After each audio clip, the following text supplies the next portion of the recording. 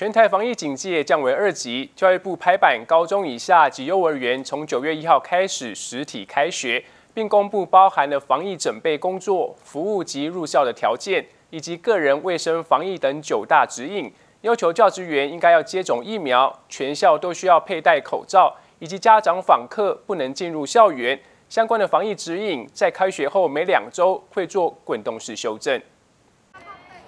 长达三个半月的暑假即将结束，随着台湾疫情趋缓，教育部正式宣布，高中以下学校及幼儿园九月一日实体开学。另外也公布师生入校条件、停课标准、上课规范等防疫指引。家长跟访客原则是不能够入校或入这个幼儿园，全程要佩戴口罩。那因为上课，希望能够固定座位、固定成员。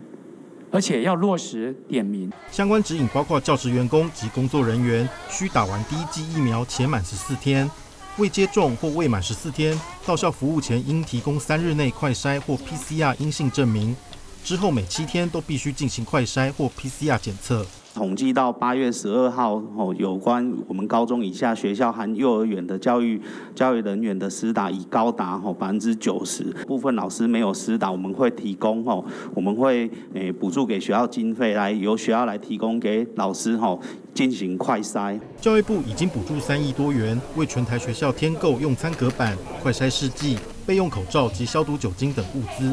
强调各县市政府必须遵守指引，或定出更严格防疫规范。可是疫情变化做预防性停课，以保护校园师生健康。记者尤祥庭台北采访报道。南港玉成里长黄聪志本身也是狮子会的成员，由三零零 A 万区拨款购买了糖尿病医疗巡回车、消防警备车以及偏乡的接驳车，分别要捐赠给台北、彰化、嘉义以及高雄。而里长更安排了李明进行了血糖以及糖化血色素的检测。而这也是宣布降级以来里内首次举办的小型活动。一辆辆的糖尿病医疗巡回车、消防警备车以及偏乡接驳车排在一起，场面相当的壮观。由南港区玉城里长黄聪智规划，国际狮子会拨款，分别捐赠车辆给台北、彰化、嘉义、高雄四个县市的单位。因为我觉得年长的人很重要，很弱势，出门年纪大了，出门没有车子很辛苦啊，这是最最。最实际的一个跟最缺失的一个问题，所以我们就那时候就有准备。疫情期间，国际狮子会三零零 A 万区依旧不改初衷，希望借由他们车辆的捐赠，让更多单位能够获得帮助，持续协助民众补足医疗行为。我们国际狮子会本来就是专注在社区的服务，也希望能找出一些民众不知道自己已经是二型的糖尿病的民众。同样是师友的玉成里长黄聪志，除了规划这次的捐赠仪式，也邀请南港健康中心、中校医院协助长者测量血糖以及糖化血色素。这也是近期第一场大型的户外里民活动，防疫措施也相当的完善，希望疫情尽快退散，还给大家安心的生活。记者陈德花采访报道。之前卢碧台风引进西南气流，带来强降雨，造成中南部严重水患，菜价也跟着飙涨。对此，立法院民众党团建议，农委会应该要妥善的运用大数据分析，透过专业的风险评估后，调配农产供需系统，避免市场价格因为天灾波动剧烈，影响到民众生活。看着一颗颗在强降雨过后吸水太多、爆裂落果的水梨被丢入泥沟当做堆肥，让农民跟立委看得好心痛。除了极端气候带来的农业损失，在上周卢碧风灾开始之前，菜价就已经先涨了百分之二十，高丽菜一颗甚至来到三百块大关。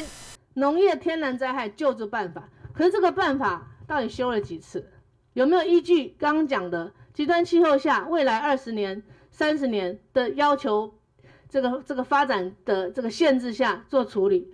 为了平稳菜价，农委会已经在二零一八年开始建制冷链体系，政府也拟定了四年八十五亿元的冷链补助计划。不过，一碰上中南部豪雨灾情，农损严重，政府似乎还没有准备好。被害面积有八千五百五十一公顷，哈。损害程度达百分之二十一哈，其实尤其像是这个嘉义哈，它是这个受灾的最重创伤区哈，就光它就有一亿两千五百多万的损失哈。那再来的话就是高雄市。天气能够持续的稳定，我们预估在八月下旬之前，就八月底之前，应该是可以把那个整个菜价做一个很适当的稳定哈。一些相关的一些滚烫的冷藏式的一个叶菜类的一个，但是主要是都是以根茎类，因为叶菜类其实不耐放，好，那所以我们出来会以根茎类。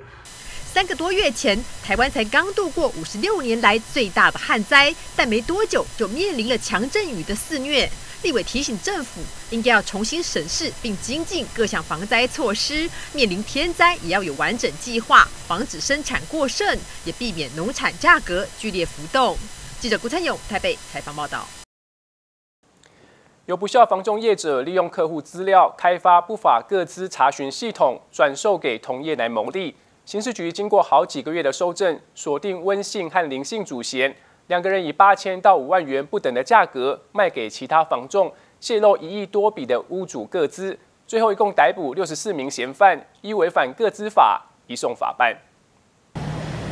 警方兵分多路，在双北市、桃园市、新竹市以及基隆市的各家连锁房仲业者展开同步搜索。因为掌握房仲业务员使用不法各资查询系统进行开发客户及查询屋主电话、住址等资讯，循线逮捕六十四名嫌犯，不法获利高达数百万元。开发各资查询 People 系统啊，并且贩售魔力啊，想要购买 People 系统的人啊，需先提供名片以验证身份为房仲业者，